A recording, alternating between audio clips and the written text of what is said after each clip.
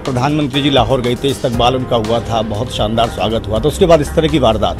कहीं ना कहीं धोखा है ये। क्या गलत फैसला है आपके हिसाब से? ये बात होती और पाकिस्तान जाकर मुखालफत कर बड़ा महत्वपूर्ण बिल है और आप लोग चाहते हैं कि मुस्लिम महिलाओं को इज़्ज़त मिले सम्मान मिले। आपके कार्यकर्ताओं ने बहुत हंगामा किया ट्रेलर दिखाने पर। सबका साथ सबका विकास का वो नारा देते हैं। पत्रकारिता में दो दशक से ज़्यादा का अनुभव। जब नौकरशाहों से टकराव देखने को मिला मानते हैं संवैधानिक संकट की स्थिति बन गई। क्या दांव है इसके पीछे और क्या सियासत है नरेंद्र मोदी की? इस दौरान दिल्ली को देखा देश को देखा। आपने धोखे का ज़िक्र किया कि केजरीवाल ने दिल्ली की जनता को धोखा दिया। कंफ्यूजन कहाँ हुआ? क्या मिसकोट किया आपके बयान को? विवाद का विषय इतना था कि इतिहास के तथ्यों के साथ छेड़खानी न की जाए। हमेशा हम लोग चुनौतियों से ही सामना करते हैं। किस तरह लाठी चार्ज हुआ और आपको रात के अंधेरे में एक महिला के पोशाक में भागना पड़ा? सत्ता सिस्टम और सियासत को करीब ऐसी देखा।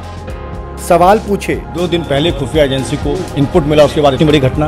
यानी आपकी नीति पर सवाल उठ रहे हैं? चुनौतियों से निपटने में कौन से वो बड़ी बातें हैं जो ये बजट कारगर होगा अर्थव्यवस्था को मज़बूत करने में? समाज के सरोकार की चिंता की। इस बार कोई खतरा है कि जो लोग आपसे जुड़ेंगे वो आ, आगे आने वाले दिनों में फिर कोई राजनीतिक पार्टी ज्वाइन न करें? खादे के बजाय ज़मीन पर अच्छा काम हो जो अभी तक खबर है कि तीन हज़ार रुपए होगा वो ज़्यादा है। लापरवाह और गैर जिम्मेदार लोगों को कटघरे में खड़ा किया। कहीं न कहीं कोई नुकसान की आशंका है कोई खतरे की आशंका है? अब समाज के लिए सीधे तौर पर कुछ बेहतर करने की जिद है।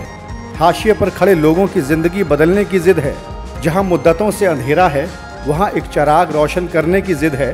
अब एक नए मन और मंच के साथ लोगों से जुड़ने की जिद है।